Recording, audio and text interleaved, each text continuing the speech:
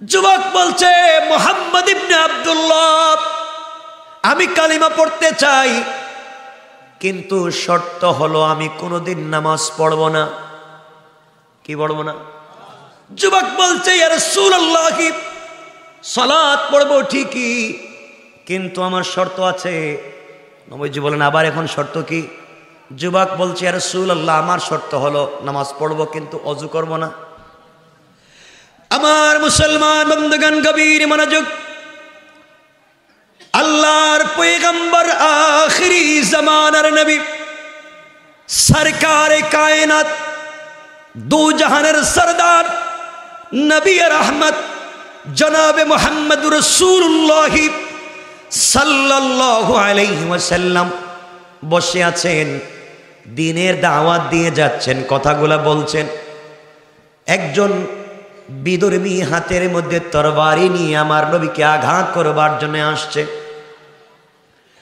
দুনিয়ার জমিন থেকে আমার নবীকে উঠাইয়া দেওয়ার জন্য আসছে। তরবারি নিয়ে আসছে, নবীজিকে উঠাইয়া দিবে। তার মনে একটাই চিন্তা, দুনিয়ার জমিন থেকে মোহাম্মদ ইবনে আবদুল্লাহকে উঠাইয়া দেব। এই চিন্তা করে রসুলে পাকের সামনে হাজির হয়ে গেল। তরবারি খুলেছে, আমার রসুলকে আঘাত করবে। নবীজির সামনে কেউ যদি আসতো, যে আসুক না কেন, তিনি মুচকি হাসি দিয়ে দাঁড়িয়ে যেতেন, হাত ধরে মুসাফা করতেন, বুকের সঙ্গে লাগাইয়া চাপ দিতেন। ইহুদি যখন আমার নবীর সামনে হাজির হয়ে গেল, নবীজি তার হাত চাপটে ধরলেন, কপালে চুম্বন করলেন, বুকের সঙ্গে জড়ায়া মুচকি হাসি দিয়ে বলছেন যুবক রে কি জন্য এসেছ? কি জানতে চাও বলো। যুবক চিন্তায় পড়ে গেল, কাকে মারবার জন্যে আসলাম? কাকে আঘাত করবার জন্য এসেছি? তার চরিত্র কি এত সুন্দর হতে পারে? নবীজি যখন তার কপালে চুম্বন করেছেন, বুকের সঙ্গে জড়িয়ে ধরেছেন, সঙ্গে সঙ্গে তার শরীর থেকে মিষ্টি আম্বরের গ্রান বের হতে লাগল। তার শরীরের সঙ্গে সারকারে কায়নাতের বুক ঠোকন লেগে গিয়েছে। চিন্তার পরিবর্তন চলে এসেছে। আহারে, কারে মারবার জন্য আসলাম, তার চরিত্র কি এমন? বলতে লাগল, মোহাম্মদ ইবনে আবদুল্লাহ, চললাম, বাড়ির দিকে চললাম। অন্যদিন এসে আপনার কাছে বলব, কেন এসেছি? এই কথা বলে চলে গেল। রসুলে পাঁকের দরবার থেকে যখন নিজের বাড়িতে পৌঁছে গেল চিন্তায় পড়ে গেল, কাকে দেখলাম? কার কাছে গেলাম? তার আদর্শ কি এত সুন্দর হতে পারে? এমন আদর্শের কি মানুষ হতে পারে? এত সুন্দর, চমৎকার কি তার পারফিউম হতে পারে? রাত্রবেলা ঘুমিয়ে পড়ল, স্বপ্নে দেখতেছে স্বপ্নে দেখতেছে আল্লাহ রসুলের সঙ্গে বসে আছে। নবীর সাহাতের সঙ্গে হাত লাগাইয়া কালিমা পড়ে মুসলমান হয়ে গিয়েছে। স্বপ্নে এগুলা দেখতেছে, ঘুম ভেঙে গিয়েছে, পাগলের মতো দৌড়ায়। আমি যে কথা বলতে চাই, ভালো করে বুঝবেন। পরের দিন আমার নবীর সামনে হাজির। ডাক দিয়া বলছে, মোহাম্মদ ইবনে আবদুল্লাহ, ওই দিন এসেছিলাম আপনাকে দুনিয়ার জমিন থেকে বিদায় করে দেওয়ার জন্যে, উঠাইয়া দেওয়ার জন্যে। আমি বুঝতে পেরেছি আপনি আখিরি জমানার পয়গাম্বার। দেরি করতে চাই না, আপনি আমাকে কালিমা পড়াইয়া মুসলমান বানাইয়া দেন। নবীজি বললেন, কেউ যদি ইসলামে আসতে চায়, আমার কোনো আপত্তি নাই। যুবক বলছে, হুজুর, আমি কালেমা পড়ব ঠিকই, কিন্তু আমার শর্ত আছে। নবীজি বললেন, যুবক, কালিমা পড়তে চাও, আমার হাতে হাত রাখতে চাও, আমার শর্ত কি?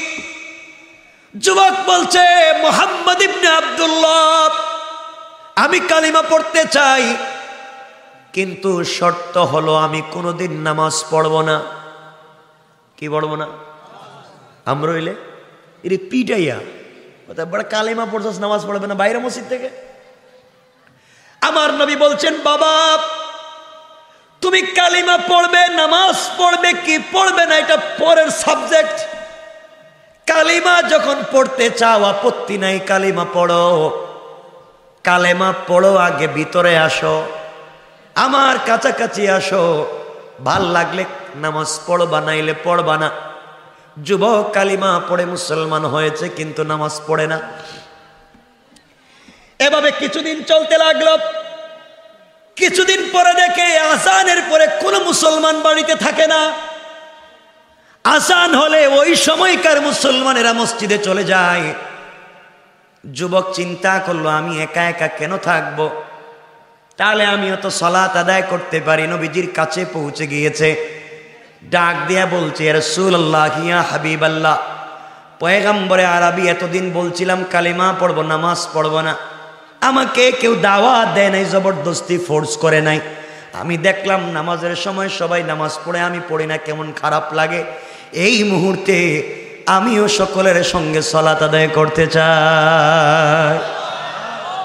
নবীজি বলেন বালকতা আজকে সলাৎ পড়তে চা আপত্তি নাই। যুবক বলছে ইয়ার সুল্লাহি সলাৎ পড়ব ঠিকই, কিন্তু আমার শর্ত আছে। নবীজি বলেন, আবার এখন শর্ত কি? যুবক বলছে সুল আল্লাহ আমার শর্ত হলো নামাজ পড়ব, কিন্তু অজু করব না। কি করবে না? তা আমরা হইলে কি করতাম কন? ওই যে আগে যে বলছে, যুবকদের ধাক্কায় মসজিদ বাইর করে দেন। আমরা হইলে বলতাম বেটা নামাজ পড়বে, অজু পড়বে করবে না। এদিকে কাছাকাছি আয়। নবীজি বললেন, ঠিক আছে, তুমি আগে নামাজ শুরু করো। আগে শুরু করো। যুবক সালাদ শুরু করেছে। কিছুদিন যাওয়ার পরে গভীর রজনীতে ফজরের সালাতে মসজিদে আসছে। এসে দেখে হজরত আলী কার্রামাল্লাহু আজহা মসজিদের কাছাকাছি তিনি অজু করতেছেন। হাত কোনই পর্যন্ত দইতে হয়, তিনি এতটুকুন ধোয়া শুরু করলেন। হজরতে আলী পা টাকনু পর্যন্ত দুইতে হয়, তিনি হাঁটু পর্যন্ত দুচ্ছেন যুবক দাঁড়াইয়া দাঁড়াইয়া দেখছে আর বলছে, আলী, নবীজির মুখ থেকে শুনছি, অজু করলে কোনই পর্যন্ত ধুইতে হয়? পা টাকনু পর্যন্ত ধুইতে হয়, তুমি এত বেশি দাও কেন? আলী বলছেন, যুবকরে, তুই জানিস না সামিত রসুল আল্লাহ সাল্লাহ আলাইসাল্লাম আমি রসুলে পাকের কাছ থেকে নিজের কানে শুনেছি, নবীজি বলেছেন, যে অজুর মধ্যে যতটুকু অঙ্গ দৌত করবে, কেয়ামতের দিন তার শরীরের সেই অংশটুকুন নূরের মতো চমকাতে থাকবে। এজন্য আমি আলি চিন্তা করলাম, আমার হাত অর্ধেক চমকাবে, বাকি অর্ধেক চমকাবে না কেন? এই জন্য আমি পুরো হাত দৌত শুরু করলাম, যুবক বলে, সত্যি নাকি? আলী বললেন, সত্যি আমি রসুলের মুখ থেকে শুনেছি। যুবক বলছে, আলী, তুই শুনে রাখ। আলী রে, তুমি শুনে রাখো, কসম করে বলছি। সত্যিকার অর্থে যদি যতটুকুন ধইলে, ততটুকুন যদি নূর চমকায়। আজকের থেকে আমি অজু করব না, পাঁচ ওয়াক্ত নামাজে পাঁচবার গোসল করতে চাই। আল্লাহ আকবর বলেন। এই যুবককে পিটানো লাগছে? মারতে হইছে? নামাজ পড়াবার জন্য পিটাইতে হইছে? কিছু কাছে আসার গল্প শিখাতে হয়েছে। কাছে আসো আসতে দেও আরও আসতে দেও আরও কাছাকাছি আসুক ভালো হয়ে যাবে। আর আমরা কাছে আর আগেই তো লাগেজের পিছনে। ঠিক না? তাই গেল বারোটা কিন্তু হয়ে গেছে। না আমি বলছি। কষ্ট হচ্ছে না? একটু হাত দেখান তো দেখি কার কার কষ্ট হচ্ছে। কেন কষ্ট হচ্ছে?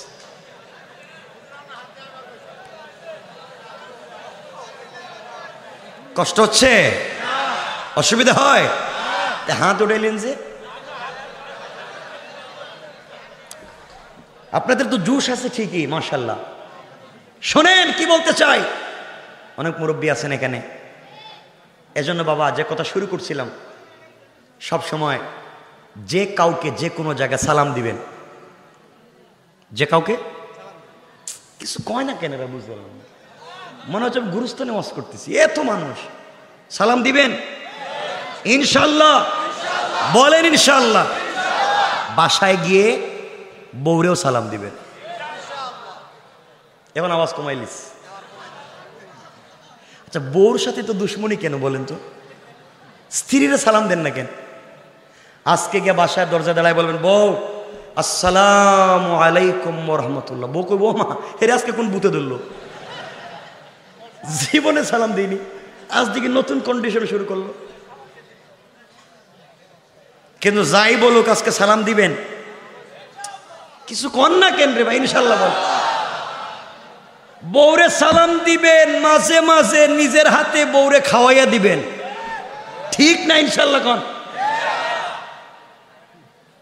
মাঝে মাঝে কাপড়গুলো ধুইয়া দিবেন।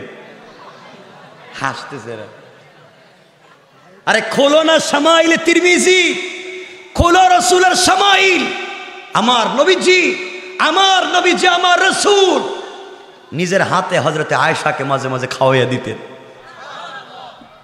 একদিন আর কথা মনে পড়ে, নব- নবীজি নামাজ পড়ে বাইরে হয়েছেন মসজিদ থেকে, তো আয়সা কাপড় পরতেছেন কাপড়। নবীজি বলছেন আয়সা তোমাকে আল্লাহ তো কম সুন্দর করে বানাই নাই, কিন্তু কাপড়টা তো পরতে পারো না। আয়সা বলছেন, আমি ছোট মানুষ আপনার মতো স্বামী পাইলাম ঠিকই, কিন্তু আমার জীবনে কাপড় পরাইয়া দিতে পারলেন না। নবীজি বলছেন, আমার কাছে আসো, আমি নিজে তোমাকে কাপড়টা পরাইয়া দিতেছি। সুমান একটু জুড়ে বলেন। আপনারা এই ঘটনাগুলো জানেন।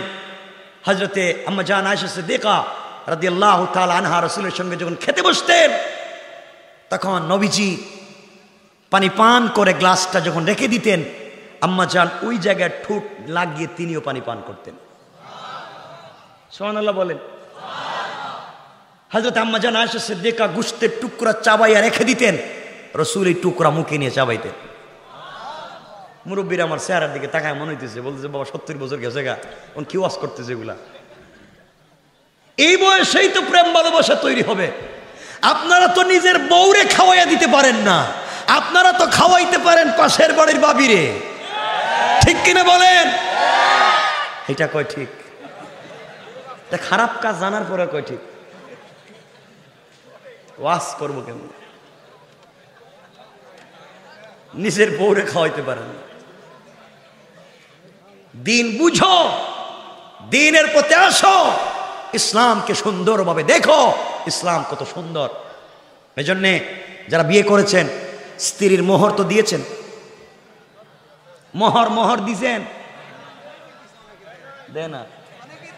নামাজ, রোজা যেমন ফরজ, স্ত্রীর মোহরও তেমন ফরজ। না দিলে খবর আছে, কেয়ামতের দিন বুঝবেন মোহর কোন জিনিস। এজন্য দিয়া দিয়েন। কিছু কন। দিয়া দিয়েন। বলেন ইনশাল্লাহ সব জিনিসের ডেট এক্সপায়ার আছে না? সব জিনিসের দেখবেন উৎপাদনের ডেট শেষ হওয়ার ডেট বিয়াজ একদিন করছিলেন ডেট আছে না নাই, দেখবেন না? মোহরটা ঠিক মতো দিয়ে দিবেন। কিন্তু আমি জানি না, এই এলাকার মা বোনেরা অনেক ভালো হয়তো, অনেকের মোহর মাফ করে দেয়। আল্লাহ জানে এখানে আসেনি, যাদেরকে মাফ করে দেব। মাফ করে দিছে এমন কি কেউ আসেন আল্লাহর অলি বউ মাফ করে দিছে মোহরের টাকা এমন কেউ আসেননি? একটু হাত দেখান দেখি।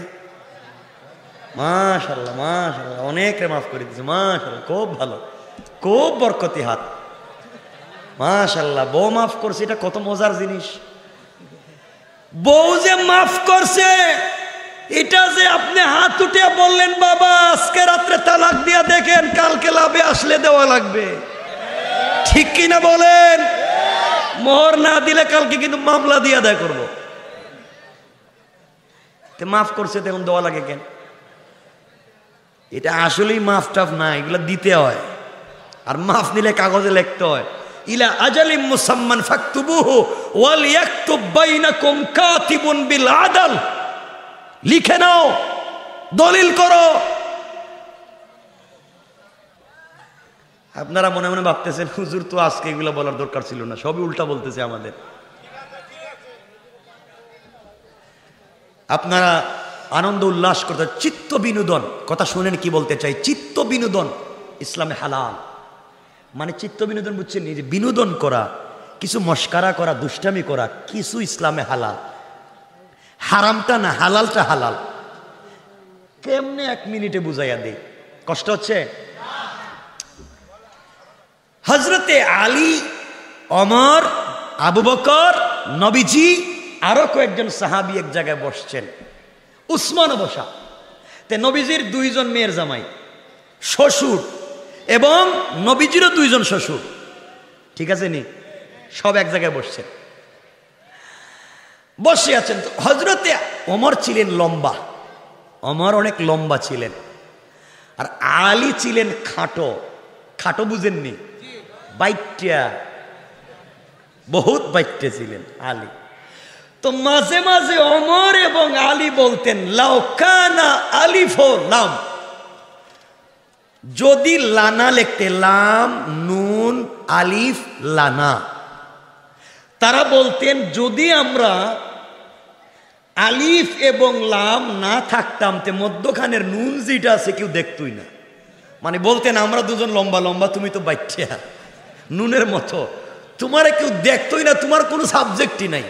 তোমার আলী কি সাধারণ পাবলিক আলী দাঁড়াইয়া বলছেন লাউকানা নুন, লাকান আল্লাহ। যদি আলিফ আল্লামের মধ্যখানে আমি নুন না থাকতাম, তোমরা নাই হয়ে যাইতা, নাই নাই। সোহান আল্লাহ বললেন না। যদি আলিফ আল্লামের মধ্যখানে আমি নুন না থাকতাম, তে লাম আলিফ জবর লা মানে কিচ্ছু নাই। এমন জ্ঞানী। তো সবাই বসছেন। নবীজি সবাই রে খেজুর দিচ্ছেন। বন্টন করে করে খেজুর দিচ্ছেন। তো নবীজির এক পাশে বসছেন আবু বকর, আর এক পাশে অমর, এই জায়গায় বসছেন হজরতে এই জায়গায় আলী, এই জায়গায় অমর, এভাবে গুলে বসছেন। নবীজি সবাই রে খেজুর দিচ্ছেন, সবাই খেজুর খাচ্ছেন। কে খাচ্ছেন? সবাই বলেন না। শ্বশুর আর জামাই, সবাই বসে খেজুর খাচ্ছেন। নবীজি হঠাৎ করে বললেন, "এ খেজুর খাওয়া থামাও। থামাই দিছে সবাই। আমার লজ্জা হচ্ছে কথাটা বলতে। আমি বলতেছি না, রসুল বলতেছেন। আমার লজ্জা হচ্ছে বলতে। সাহাবাই কারাম বলছেন, নবীজি তো জিন্দিগিতে এমন কথা বলেন নাই। কি হইল? ইয়ার রসুল্লাহ কি হয়েছে? আমার লজ্জা হচ্ছে যে আমার সামনে বসে সবাই খেজুর খাচ্ছে। এমন পেটুক আছে আমি জানতাম না। যার সামনে যত বেশি খেজুরের বিচি আর দানা, সে তত বড় পেটুক। আমার সামনে বসে তো খায় খায়। এত লোক কে সবাই খুঁজতেছেন কার সামনে কেমন খেজুর? সবাই দেখে না আলীর সামনে খেজুরের বিচির অভাব নাই। ওমর বলছেন, এই বেচারা তো বাইকটার এত খায়। এত বড় মাজলিস, রসুল বসা, এত লজ্জা, খাইতে খাইতে এত খেজুরের বিচি দোলা করছে, জমা করছে। করছেটা কি? এই মজলিসটারে বেইজ্জত করে ফেলছে। আলি তো লজ্জায়, একবার লাল হইলটা কি? আমি তো খাইলাম না। তাহলে খেজুরে বিচি এলো থেকে তিনি বললেন শুনছি, নবীজি বলছেন, এখানে পেটুক আছে, কিন্তু আমি তো দেখতেছি আমার চাইতে আরও বড় পেটুক এখানে আছে। আমি তো খেজুর খাইয়া খেজুরের বিচিটা রাখছি, আর এখানে এমনও পেটুক আছে, খেজুর খাইছে, খেজুরের বিচিটাও খাইছে। সোহানুল্লাহ বললেন না? সাহাবেকরা বলেন, এই কাজটা করল কে? খুঁজতে খুঁজতে দেখেন, নবীজির সামনে বিসি একটাও নাই। এর অর্থ দাঁড়াল, রসুল বিসি খায় নাই, বরং নিজে খাইয়া আলীর সামনে রাখছেন। সুবহান আল্লাহ সুবহান আল্লাহ পড়েন না, সুবহান। কেমন ছিল শ্বশুর আর জামাইয়ের ভালোবাসা? কেমন বিনোদন তাদের মধ্যে ছিল? কেমন ছিল তাদের? আর আমাদের শ্বশুর জামাই যদি রাস্তা দিয়ে হাঁটে আপনাদের জামালপুর, এই কুনেটা নদীর পার আসেনি নদী নদী নদীর পার দিয়ে শ্বশুর আর জামাই ঠান্ডার সময় হাঁটতেছে, একবার লঙ্গি উল্টাইয়া বাঁধছে। জামাই শ্বশুরে কেবল আব্বা, আপনার কাছে সিগারেট আসেনি দেন, দেখি কেমন লাগে। দুজন সিগারেট খাইতেছে আর গল্প করতেছে। এই হচ্ছে আমাদের কন্ডিশন আর কোয়ালিটি আর ইসলামটা কেমন সৌন্দর্যের সোবাহান আল্লাহ সোবাহান এই ইসলাম বুঝো, ইসলামের পথে আসো, ইসলামকে ফলো করো। এতগুলা কথার কথা বোঝানোর অর্থই হচ্ছে, আমি ছায়া পড়েছিলাম, এদিকে তো যাচ্ছিলাম বুঝানোর জন্যই রব এত কসম করে এদেরকেই পিটানোর কথা বলছেন গর্ত খননকারীদেরকে যারা এই সন্না থেকে অনেক অনেক অনেক বেশি দূরে। কথা বুঝতে পেরেছেন? এই জন্য আমার মুসলমান বন্ধুগণ, জান্নাতে যেতে হলে গুণ লাগবে। কোরআনের চারটা, হাদিসের চারটা। কয়টা? কয়টা? সবাই বলেন। আবার বলেন। কোরআনের কয়টা? হাদিসের কয়টা? আটটা। নাম বলব, শেষ করে দেব। সবারটা হয়ে গেছে গা। আমার মুসলমান বন্ধুগণ, গভীর মনোযোগ, কি গুণ লাগবে শুনেন কোরআনে করিমের উনিশ নম্বর পারা, পঁচিশ নম্বর সৌরভ। সৌরাল ফুরকানের তেষট্টি নম্বর আয়াতে আল্লাহ বললেন রহমানিল্লাযীনা ইয়ামশুনা আলাল আরদি হাওনা। আল্লাহ রাব্বুল জালাল বললেন, মুসলমানেরা, এই দুনিয়ার জমিনে যারা আমি আল্লাহর গোলাম দাবি করবে আশিকার রাসূল দাবি করবে, আমি আল্লাহর গোলাম নিজেকে মনে করবে, আমি আল্লাহর গোলামের চার নাম্বার গুণের এক নাম্বার গুণ হলো আমার গোলাম যারা হবে, তারা দুনিয়ার জমিনে কোনোদিন অহংকার করবে না। আমার গোলাম যারা দুনিয়ার জমিনে দাবি করবে, তারা কোনোদিন অহংকার কথা বলেন আমার সাথে বলা লাগবে। আমি এমন বক্তা না যে ওয়াশ করলাম কি জানলো কি জানলো না, এটা আমার কাজ না। আমার দায়িত্ব হচ্ছে বুঝাইতে পারলাম কিনা। আল্লাহর গোলামের এক নাম্বার গুণ, অহংকার করা যাবে। আপনারা করেননি? আপনারা তো অলিয়া উলিয়া মানুষ। অহংকার করেননি? বন্ধুগণ, এলাকায় যাদেরকে আল্লাহ বড় আলিম বানিয়েছেন, শেখুল হাদিস, মুফতি মুহাদ্দিস খতিব ইউনিভার্সিটি রেক্টর কলেজের অধ্যক্ষ, অধ্যাপক, প্রফেসর বানিয়েছেন। আপনি আপনার জ্ঞানের কারণে দুনিয়ার জমিনে অহংকার করবেন না। যে আল্লাহ মুআল্লিমুল মালাইকা ফেরেশতাদের শিক্ষকের মতো মহাজ্ঞানীকে অহংকার করবার অপরাধে শয়তান বানিয়ে দিয়েছেন। আপনিও যদি আপনার জ্ঞানের কারণে অহংকার করেন, আমার আল্লাহ আপনাকেও শয়তান বানিয়ে দিতে আমার আল্লাহর এক মিনিটও দেরি হবে না, কোন ঠিক কিনা? এই জামালপুরে আল্লাহ যাদেরকে টাকার মালিক বানিয়েছেন, মিল ফ্যাক্টরির মালিক বানিয়েছেন, কলকারখানার মালিক বানিয়েছেন, গাড়ির মালিক, বাড়ির মালিক বানিয়েছেন, আপনি আপনার সম্পদের কারণে অহংকার করবেন না। যে আল্লাহ আপনাকে টাকার মালিক বানিয়েছেন আমার আল্লাহ চাইলে যে কাউকে যে কোনো সময়ে গাছতলার থেকে দশতলায় উঠাইয়া দিতে পারে। আমার আল্লাহ চাইলে থাবড়াইয়া থাবড়াইয়া গাছ দশতলার থেকে গাছতলায় নামাইয়া দিতে আমার আল্লাহর এক মিনিটও দেরি হবে না, কোন ঠিক না মুসলমানের, আপনার বাড়ি জামালপুরে, আপনি ঢাকা থেকে আসছেন। জামালপুরে পাঁচ রাস্তার মাস্তায় আসার পরে আপনার গাড়ি জেমে পড়ে গিয়েছে, আপনার গাড়ি কোটি টাকার গাড়ি হেরিয়ার গাড়ি, প্রাডু গাড়ি, আপনার গাড়ি রেঞ্জ রুবার, আপনার গাড়ি কোটি টাকার গাড়িতে ভিতরে বসে আছেন। এমন সময় একজন ভিক্ষু, ভিক্ষার বাঙ্গা থালা নিয়ে বলছে, স্যার, আমাকে পাঁচটা টাকা দিয়ে যান। আমার বাবা প্যারালাইসিস, আমার মা অসুস্থ, আপনি পাঁচটা টাকা দেন। ও টাকাওয়ালা, আপনি গাড়ির গ্লাস খুললেন না। ময়লা ঢুকে যাবে, আপনি পাঁচ টাকা দিলে আপনার ইজ্জত চলে যাবে, দিলেন না। আপনি ভিক্ষুকের জন্য পাঁচ টাকা বের করে দিতে পারলেন না। অথচ আপনি বন্ধু বান্ধবদেরকে নিয়ে চাইনিসে বসে, কেএফসিতে বসে যখন নাস্তা করেন, পাঁচ দশ হাজার টাকা বিল তুলেন। বিল দিয়ে বের হয়ে আসার সময় ওয়েটারকে পাঁচশো, এক হাজার টাকা বকশিস দেন। অথচ আপনি টাকাওয়ালা যখন রিক্সায় ওঠেন, তখন রিক্সার ড্রাইভার যদি দুই টাকা বেশি চায়, আপনি তারে পিটান? কথা বলেন না কেন?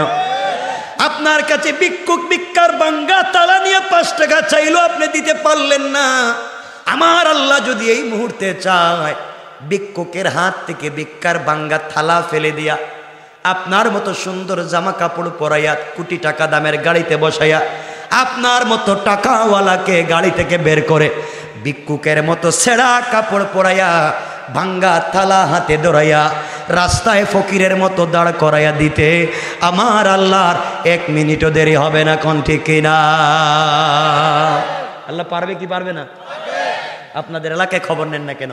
আজ থেকে পঞ্চাশ বছর আগে অনেকের গড়ে টিন দিয়ে পানি পড়তো, ছনের গড় ছিল, আজ তার গড়ে কোটি টাকা আছে। আছে না নাই? আর আজ থেকে পঞ্চাশ বছর আগে যাদের টাকা ছিল, আজ তার ছেলে মেয়েরা মানুষের বাড়িতে কাজ করে খায়। আছে না নয় কে করেছেন? আওয়াজ করে বলেন, কে? এক নম্বর, অহংকার করবেন না, অহংকার করবেন না। আল্লাহর গোলামের দুই নাম্বার গুণ আমার আল্লাহ বলছেন, ওয়াইদা জাহিলুনা। ক্বালু সালামা আল্লাহ রাব্বুল ইজ্জত ওয়াল জালাল বললেন, মুসলমানেরা, এই দুনিয়ার জমিনে যারা আমি আল্লাহর গোলাম দাবি করবে, আশিক রাসূল দাবি করবে, আমি আল্লাহর গোলামের দুই নাম্বার গুণ হলো আমার গোলামকে কেউ গালি দিলে গালির জবাব দিবে না। আমার গোলামকে মারলে কেউ মারের জবাব দিবে না। আমার গোলামের গিবত শেখায়ত করলে জবাব দিবে না। বরং আমার গোলামকে কেউ যদি গালি দেয়, আমার গোলাম গালির জবাবে গালি না দেয়া ওই ব্যক্তির জন্যে শান্তি আর সালামতির দোয়া করে যায় কন সোহান আল্লাহ আল্লাহর গোলামের দুই নম্বর গুণ, গালি দেওয়া যাবে। কথা বলেন না কেন, গালি দেওয়া যাবে? আপনারা দেননি? মারে ধরে। দুই নম্বর গুণ, গালি দেওয়া যাবে না। আল্লাহ গোলামের তিন নম্বর গুণ আমার আল্লাহ বলছেন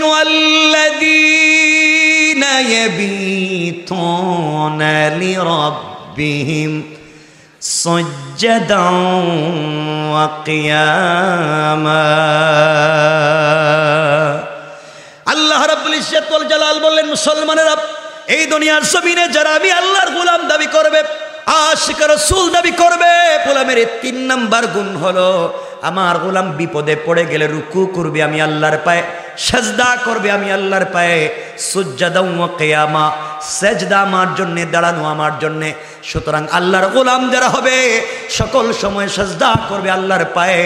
এই জমিনে যারা আল্লাহর পা ছাড়া পীরের পায়ে সেজদা করে, মাজারে মাজারে গিয়া সেজদা করে আল্লাহর কসম আল্লাহর কসম, তারা কোনোদিন আল্লাহর গোলাম হতে পারে না। ঠিক কিনা বাস করে বলেন? জানি না আপনাদের এলাকায় এটা আছে না নাই। মাজার, মাজারে গিয়ে সেজদা দেয় মাজারে টাকা পয়সা দেয়, আছে না নাই? আমি যদিও ঢাকা শহরে থাকি, আমার জন্ম কিন্তু সিলেট শহরে। আমার বাড়ি শাহজালালের মাজারের তো কাছাকাছি। শাহজালাল জবরদস্ত মুজর, জবরদস্ত আল্লাহর ওলি শাহজালাল মুজরদ ইয়ামানি, জবরদস্ত আল্লাহর ওলি শাহপরান জবরদস্ত আল্লাহর ওলি সন্দেহ নাই। কিন্তু শাহজালাল চাইলে আপনাকে আট আনা পয়সার আজকে কোনো উপকার করে দিতে পারবেন না। শাহজালাল মরে গিয়েছেন, তিনি চাইলে আজকের রাত্রে এক রাকাত নামাজ পড়তে পারবেন না। চাইলে আজকে একটা আয়াত কোরআনের তেলাবাত করতে পারবেন না। কিন্তু জামালপুরের যেই ছেলে বদমাস চুর, ডাকাত, ও আজকে রাত্রে সারা রাত চাইলে তাহাজ্জুদের সাজদায় পড়ে থাকতে পারে, ঠিক কিনা বলে? এর জন্য হায়াতে জিন্দগির অনেক দাম। হায়াতে জিন্দগির, এটা একটা ফতোয়া মাস আলা হায়াতে জিন্দগির এক মিনিট যদি কেউ এক সেকেন্ড পৃথিবীতে বাঁচে, পৃথিবীর হায়াতে জিন্দগির মাস আলা কায়েম করতে হয়। সুতরাং আল্লাহর গোলামের তিন নম্বর গুণ রুকু সেজদা কার পায়ে কার পায়ে আল্লাহর গোলামের চার নম্বর গুণ আল্লাহ বললেন والذين يقولون ربنا صرف عنا عذاب جهنم إن عذابها كان غراما আল্লাহ রাব্বুল ইজ্জত ওয়াল জালাল বললেন বান্দারে আমি আল্লাহর গোলামের চার নাম্বার গুণ হল সাকারাত শুরু হয়ে যাওয়ার আগে গারগারা শুরু হয়ে যাওয়ার আগে কবরে চলে যাওয়ার আগে মালাকুল মত পৌঁছে যাওয়ার আগে আজরাইল চলে আসার আগে আমার যেই বান্দা গোটা জিন্দেগির গোনার জন্য রবের কাছে ক্ষমা চাইতে শুরু করবে, তাওবা করতে শুরু করবে। রব বলেছেন, বান্দারে, সাকারাতের আগে কোন বান্দা যদি তওবা করে, আল্লাহ রব্বুল ইজ্জতুল জালাল বলেছেন, তার বান্দার গোটা জিন্দেগির গোনাগুলাকে মাফ করে, ওই পরিমাণ সওয়াব তার আমল নামায় লিখে দিয়া জান্নাতি বলে ফয়সালা করে দিতে আমার আল্লাহর এক মিনিটও দেরি হবে না, পড়েন সোহানাল্লাহ কয়টা গুণ বলছি? এক নম্বর অহংকার করা যাবে? না। অহংকার করা যাবে? দুই নম্বর গালি দেওয়া যাবে? তিন নম্বর রুকু, সাজদা কার পায়? চার নম্বর তওবা করব কার কাছে? কার কাছে? আমার কাছে? কার কাছে? আল্লাহর কাছে। কোরআনে করিম উনিশ নম্বর পারা, পঁচিশ নম্বর সোরা, সুর আল ফুরকান আয়াত নম্বর তেষট্টি, চৌষট্টি, পঁয়ষট্টি। তিন আয়াতে চার গুণ বলছেন। এটা বললাম কোরআনের কথা। কারণ হাদিস থেকে চার গুণ বলেই কথা শেষ, সাড়ে বারোটা হয়ে গেছে গা। পরে ফজরের নামাজ একজনে পড়বেন না, আর ঝামেলা আমার উপরে দিয়ে যাবে। এই কাজের কাজে আমি না।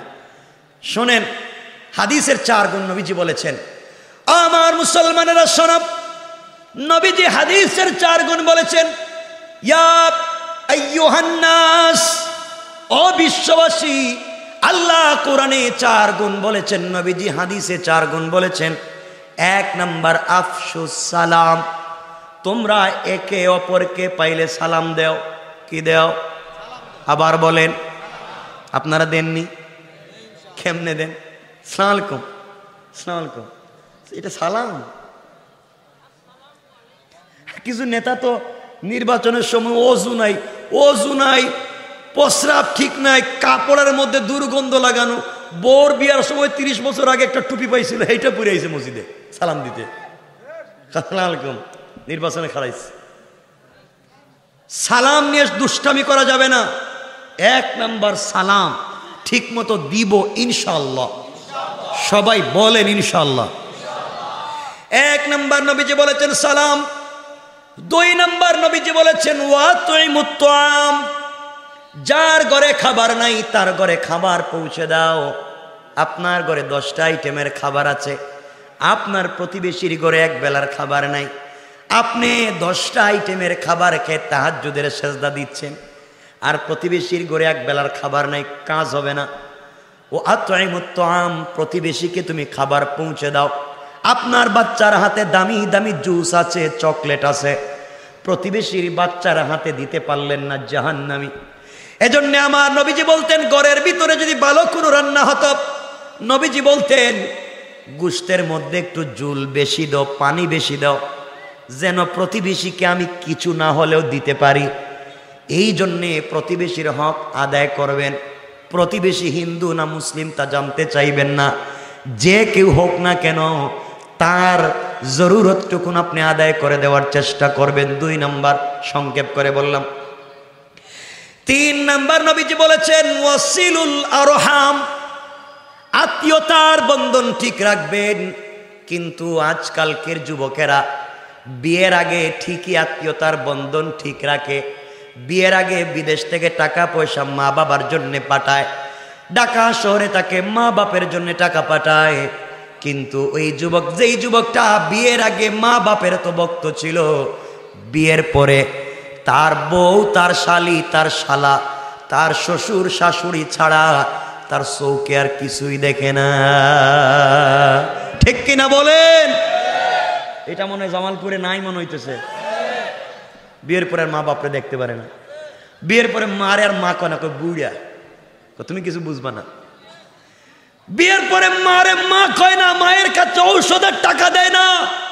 আর এই যুবক শ্বশুর বাড়ি গিয়ে শাশুড়ির কয়, আম্মা আপনি আঙ্গুর খাইবেন না আপেল খাইবেন। ঠিক কিনা বলেন না কেন? নিজের মারে দিতে পারে না আর শ্বশুর বাড়ির গিয়া খা, আম্মা খাইবেন কি? আমি কই, আঙ্গুর না আপেল তুই এক কাপ বিষ খাওয়াইয়া মাইরে ফেলা। নিজের ভাই টেলিফোন দিয়ে বলছে, ভাই, আমি এসএসসি পরীক্ষা গোল্ডেন জিপিএ ফাইভ পেয়েছি। আমাকে একটা আইফোনের দরকার নাই।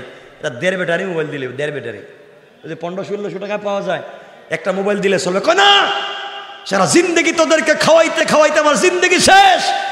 তুই এখন আরও চাস? কিছুক্ষণ পরে শালি ফোন দিয়ে বলছে, দুলা ভাই, আমি তো কাম সাইরা ফেলাইছি।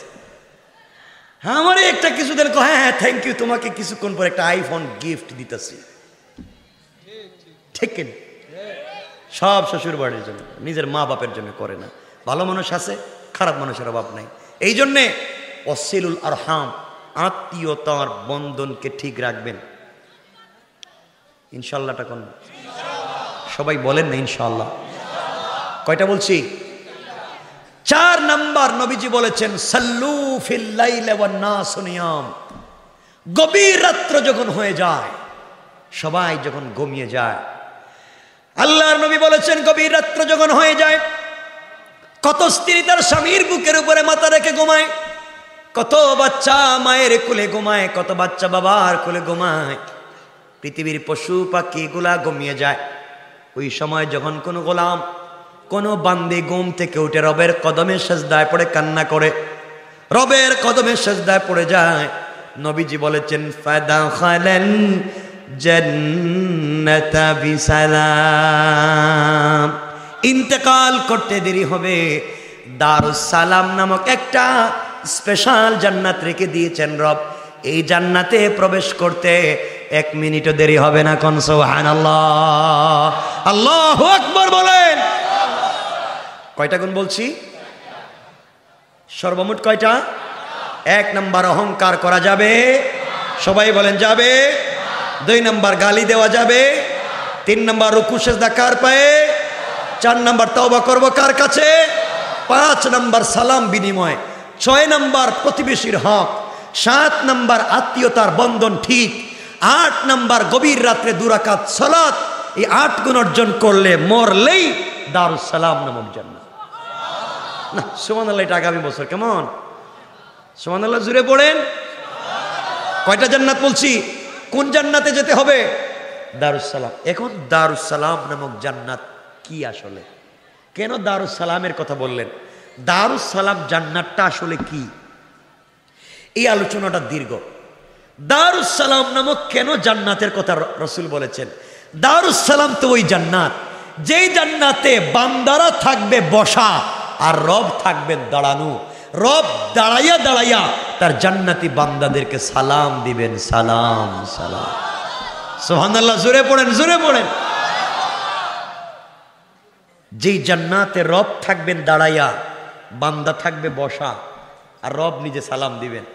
কেমন লাগবে? এখানে একটা বিশাল চমৎকার গঠন আছে, আর সেদিকে নিতে চাই না। রাত্রে সাড়ে বারোটা আমি এর লম্বা করব না। কথাগুলো বুঝে আপনাদেরকে এটা বুঝাতে চাই। দিন শেষে আপনাকে আমাকে যে পথে ঘোরা লাগবে, দুনিয়ার মানুষের পিছনে নয়। আজকালকে নিজেকে তৈরি করো, নিজেকে বানাও, রবের জন্য তৈরি করো। রব বলেছেন বান্দা কেউ তোকে যদি কাছে না ডাকে, সবাই তোকে ভুলে যেতে পারে। মা বাপ, সন্তানকে ভুলে যেতে পারে। হামিমা টুকরা বন্ধু পর্যন্ত বন্ধুকে ভুলে যেতে পারে।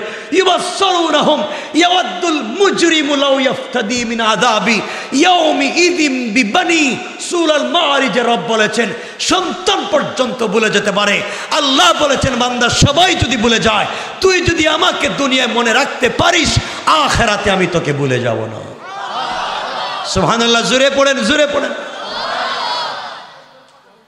এজন্যে আমরা দিন শেষে স্মরণ করব কাকে? সবাই বলেন, কাকে? বসেন, শেষ কথা আমার। এটা আপনাদের কাছে আমার মেসেজ শেষ কথা। এতক্ষণ যা বলে যা বুঝালাম। বুঝবেন কথা, এতক্ষণ যা বলে যা বুঝালাম বুঝাতে চাইলাম শেষ পর্যন্ত ফিরে যেতে হবে একমাত্র, কেবলমাত্র, শুধুমাত্র রবের কাছে। কার কাছে? আর রবের কাছে যাওয়ার একটা পদ্ধতি হচ্ছে রবকে খুশি করার। তার নাম শুরুতেই বলেছিলাম সেজদা। আলোচনার শুরুতে কি বলেছিলাম? সেজদা। এই সেজদা দিয়েই কথাটা শেষ করে নিচ্ছে। সেজদাই হচ্ছে রবের কাছাকাছি পৌঁছার টাইম এজন্য যুবক, তোমাদেরকে দু হাত জোড় করে বলছি, বলো যদি সরাসরি পায়ে ধরতাম। পায়ে ধরে বলছি। ও যুবক, তোমাদেরকে বলছি, শুনো, বন্ধুদের পাল্লায় পড়ে সিনেমা হলে গিয়েছ। বন্ধুদের পাল্লায় পড়ে সিনেমা হলে গিয়েছ। সিনেমা চলতেছে। নর্তকীরা নাচানাচি করছে, গান বাজনা বাজছে, উলঙ্গপনা চলছে। এমন সময় আজান হয়ে গেছে। রব বলেছেন, হাইয়া আলাল ফালাহ। ও বান্দা, নাচ গানে কোনো মজা নাই, নাচ গানে কোনো কল্যাণ নাই, সিনেমা হলে কোনো কল্যাণ নাই। ফালাহ, কল্যাণ আমার কাছে, কামিয়াবি আমার কাছে। তোমার পায়ে ধরে বলছি, সিনেমা হলে আছো। আমি বলছি না, তুমি বের হয়ে আসো। ও যুবক, তোমাকে বলছি, ওখানেই সুযোগ বুঝে নামাজে দাঁড়িয়ে যাও। ওখানেই নামাজে দাঁড়িয়ে যাও। আগে নামাজ, এরপরে অন্য কাজ। আগে নামাজ, এরপরে অন্য কাজ। ও যুবক, তুমি বন্ধুদের পাল্লায় পড়ে মদের বারে গিয়েছ। মদের বারে গিয়েছ।